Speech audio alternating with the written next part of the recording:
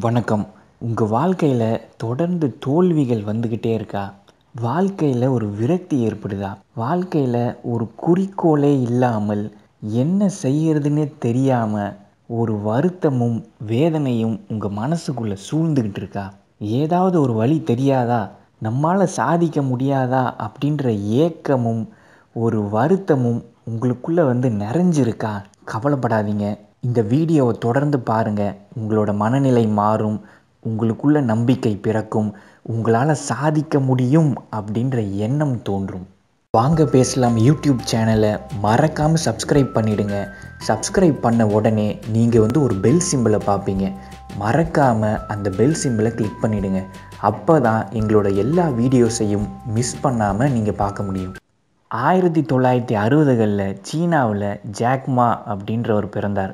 ஒரு வறுமை குடும்பத்தில் தான் அவர் பிறந்தார். ஆங்கிலத்தை கற்றுக்கணும் ஆங்கில திறமையை வளர்த்துக்கணும் அப்படின்ற ஒரு ஆர்வத்தில் இலவசமாக டூரிஸ்ட் கைடாக அவர் வேலை பார்த்தார். கல்வி மட்டுமே தன்னோட வறுமையை போக்கும் அப்படின்னு அவர் முழுமையாக நம்பினார்.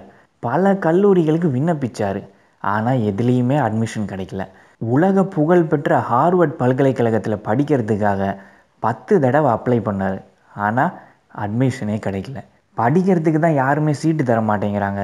சரி வேலைக்கு போகலாம் அப்படின்னு முடிவு பண்ணார். கிட்டத்தட்ட முப்பது நிறுவனங்களுக்கு அப்ளை பண்ணார். ஆனால் ஒருத்தருமே வேலை கொடுக்கல. எல்லாருமே இவர் நிராகரித்தாங்க அவங்க சொன்ன மூணே வார்த்தை உங்களுக்கு திறமை இல்லை. என்ன சொன்னாங்க? உங்களுக்கு திறமை இல்லை. அதுக்கப்புறம் கேஎஃப்சிக்கு விண்ணப்பிச்சார். இவரோட சேர்த்து மொத்தம் இருபத்தி நாலு பேர் விண்ணப்பிச்சாங்க. எல்லாருக்குமே வேலை கிடச்சிச்சிங்க. இவருக்கு மட்டும்தான் கிடைக்கல. தொடர் தோல்விகள் தொடர் நிராகரிப்புகள். நீ சரியில்லை உனக்கு திறமையே இல்லை அப்படின்னு எல்லாருமே இவரை விமர்சித்தாங்க திட்டினாங்க. இந்த தொடர் தோல்விகள் நிராகரிப்புகள் அவசொற்கள் இது எல்லாமே அவரை வந்து வலிமையாக்குச்சு. அவருக்குள்ளே ஒரு சக்தி வந்துச்சு. சாதிக்கணும் அப்படின்னு ஒரு வெறி வந்தது. இந்த உலகத்துக்கு நான் யார் அப்படின்றத நிரூபிச்சே தீருவேன். அப்படின்ற ஒரு வைராகியம் அவருக்குள்ளே வந்தது. ஆயிரத்தி தொள்ளாயிரத்தி தொண்ணூற்றி அஞ்சில் இன்டர்நெட் வளர்ச்சி அடைஞ்சிக்கிட்டு இருந்தது. இன்டர்நெட்டில் பீர் வாங்கலாம் அப்படின்னு தேடுறாரு ஆனால் சர்ச் ரிசல்ட்டில் வந்தது எல்லாமே வெளிநாட்டு நிறுவனங்கள் மட்டும்தான். சைனாவில் எந்த ஒரு நிறுவனமும் இன்டர்நெட்டில் பொருளே விற்கலை அப்படின்ற உண்மை அப்போ தான் அவருக்கு தெரிஞ்சுது.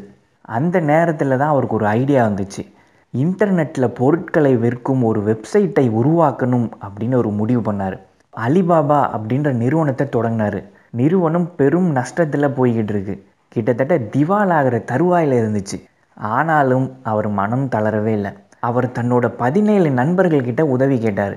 நீங்கள் தைரியமாக என் கம்பெனியில் முதலீடு பண்ணுங்கள் இந்த கம்பெனி நிச்சயமாக ஜெயிக்கும். உங்கள் எல்லாருக்குமே அதிக லாபம் கிடைக்கும் அப்படின்னு அவங்கக்கிட்ட சொன்னார்.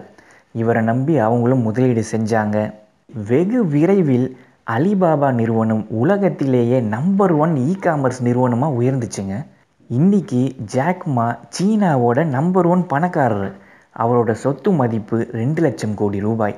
இவரோட கதை நமக்கு என்னங்க சொல்லித்தருது உங்கள் மேலே நம்பிக்கை இருந்துச்சுன்னா எத்தனை தோல்விகள் வந்தாலும் எத்தனை அவசொற்கள் வந்தாலும் மனம் தளராமல் உங்களால் உங்களோட குறிக்கோளை அடைய முடியும் அப்படின்ற உண்மையை தான் இவரோட கதை நமக்கு சொல்லுது. இதை என்றைக்குமே மறந்துடாதீங்க. வாழ்க்கையில் தொடர் தோல்விகள் வரலாம் தொடர் அவசொற்கள் வரலாம் தொடர் அவமானங்கள் வரலாம். இதையெல்லாம் கடந்து வந்து ஒரு மன தைரியத்தோட ஒரு மன வலிமையோட ஒரு விடாமுயற்சியோட ஒரு தன்னம்பிக்கையோட குறிக்கோளை நோக்கி நகர்ந்தால் மட்டும்தான் உங்களால் வெற்றி பெற முடியும். இப்படி நகர்ந்தவங்க மட்டும்தான் ஜெயிச்சிருக்காங்க பெரிய ஆள் ஆயிருக்காங்க நிறைய சாதனைகள் பண்ணியிருக்காங்க.